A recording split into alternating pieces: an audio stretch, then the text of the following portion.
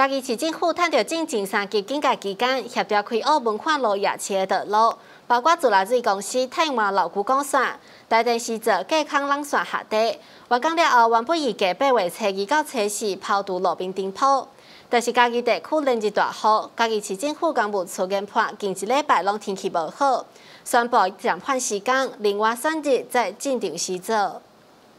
嘉义市政府指出，自来水公司施工文化路自来水管老古公线太弯，佮由台电进场做文化路健康线路下地计划工程，包括大石新的电缆公线长达一万一千两百十五公尺，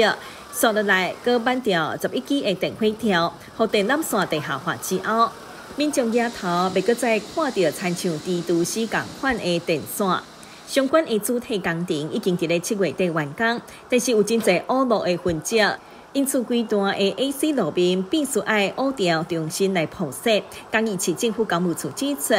原本是预定要伫八月初二开始一连三工进场施作，范围对文化路的中央喷水池延宽到水阳路，但是受到连日好大雨影响，必须爱延后施工。现在已经修正过失败，成为暂缓时间。另外发送全团单通知店家，等待确定进场时做的日期进程，会搁在经证的现场各失败的时间日期，同时发送宣传通知单通知店家正确的时间日期。最新新闻就听从王先生讲一期采访报道。